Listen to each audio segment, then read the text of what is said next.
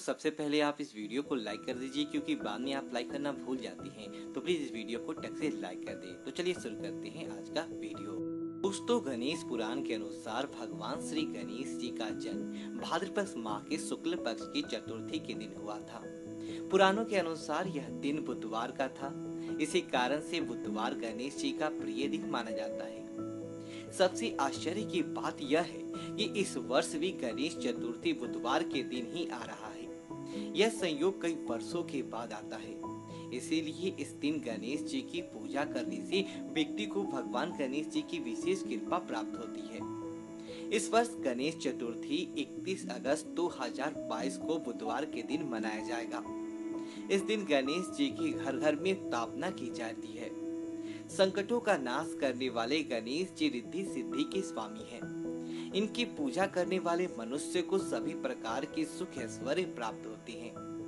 गणेश जी को प्रथम पूज्य होने का वरदान सभी देवी देवताओं ने दिया है। इसीलिए कोई भी शुभ कार्य अथवा पूजा से पहले भगवान गणेश जी की पूजा का विधान है। जो भी मनुष्य मन में सच्ची श्रद्धा रखकर गणेश जी की पूजा करता है, उसकी हर मनोकामना पूर्ण होती है। किंतु दोस्तों, हमारे शास्त्रों में ऐसी वस्तुओं के बारे में बताया गया है, जो गणेश जी को बिल्कुल भी प्रिय नहीं है। यह चीज़ें गणेश जी पर चढ़ाने से गणेश जी रुष्ट हो जाते हैं। और जो व्यक्ति गणेश जी को नाराज़ करता है, उसके सभी कार्यों में विघ्न निर्मित होते हैं। इसीलिए गणेश जी की पूजा के दौरान आप यह सावधानी अवश्य बरतें। आइए जान लेते हैं, गणेश जी की पूजा में कौन सी वस्तुओं को वर्जित माना गया है। दोस्तों, अगर आप इस चैनल पर नए हैं तो इसे सब्सक्राइब ज़रूर करें। कमेंट में जय श्री गणेश अवश्य लिखें और साथ ही वीडियो को लाइक करना न भूलें। सबसे पहली चीज़ है, खंडित अक्षत।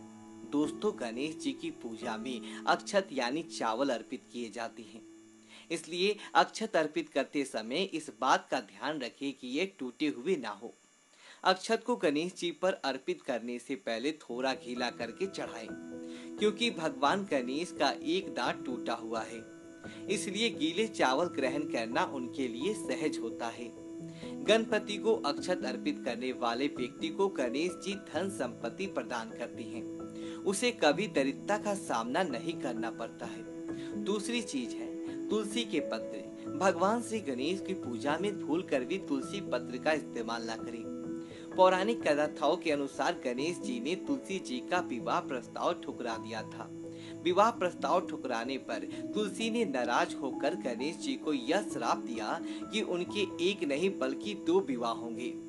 इस पर श्री गणेश भी तुलसी को श्राप दे दिया कि तुम्हारा विवाह एक असुर से होगा और उनकी पूजा में कभी तुलसी का प्रयोग नहीं किया जाएगा। इसी कारण से गणेश जी की पूजा में तुलसी पत्र का प्रयोग वर्जित है। तीसरी चीज़ है, केतकी के फूल। गणेश जी को सफ़ेद फूल या केतकी के फूल भूल कर भी अर्पित ना करें। पौराणिक कथाओं के अनुसार भगवान शिव को केतकी के फूल पसंद नहीं है।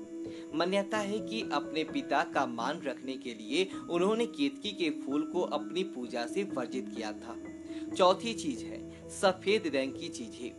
गणेश जी की पूजा में सफ़ेद वस्त्र, सफ़ेद जनेऊ और सफ़ेद चंदन ना चढ़ाएँ। पौराणिक कथाओं के अनुसार चंद्रमा ने गणेश जी का उपहास किया था। इसलिए गणेश जी ने चंद्रमा को श्राप दिया था। सफ़ेद रंग के फूल का संबंध चंद्रमा से होने के कारण गणेश जी को सफ़ेद फूल भी अर्पित नहीं किए जाते। आइए अब जान लेते हैं, गणेश जी को कौन सी चीज़ें चढ़ाने से धन संपत्ति की प्राप्ति होती है?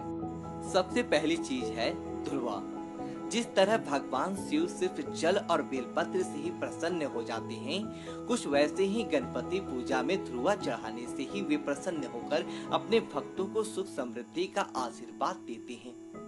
गणपति को ध्रुआ चढ़ाते समय हमेशा उसका ऊपरी हिस्सा लेना चाहिए और उन्हें 21 डाट की डुड़वा अर्पित करें। दूसरी चीज़ है मोदक। गणपति की पूजा में मोदक का प्रसाद ज़रूर चढ़ाएँ। मोदक के प्रसाद से प्रसन्न होकर गणपति अपने साधकों का जीवन मिठास से भर देते हैं। मोदक उपलब्ध न होने पर आप गणपति को बूंदी का लड्डू चढ़ा सकते हैं। तीसरी चीज़ है केले का फल। सनातन परंपरा में केले का पेड़ और उसका फल बहुत महत्व रखता है। केले के पेड़ की जहाँ पूजा की जाती है वहीं उसके फल की बगैर गणेश जी की पूजा अधूरी मानी जाती है। यदि आप गणपति को शीघ्र प्रसन्न करना चाहते हैं तो प्रसाद में केला ज़रूर चढ़ाएँ। चौथी चीज़ है सिंदूर। गणपति की प्रिय चीज़ों में सिंदूर भी शामिल है। गणेश जी की पूजा से जुड़े तमाम उपायों में अक्सर इसका प्रयोग किया जाता है। सिंदूर को शुभ पदार्थ माना गया है। जिसके प्रयोग से घर में किसी भी प्रकार की नकारात्मक ऊर्जा का प्रवेश नहीं होता है। इसी सिंदूर को जब गणपति को चढ़ाया जाता है तो वे प्रसन्न होकर अपने भक्तों की सारी मनोकामनाएँ पूरी करते हैं।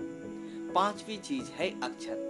गणपति की पूजा में अक्षत का प्रयोग ज़रूर करें। अक्षत को अर्पित करने से पहले उसे पानी में धोले और मोम गणेशाय नमः इस मंत्र का जाप करें।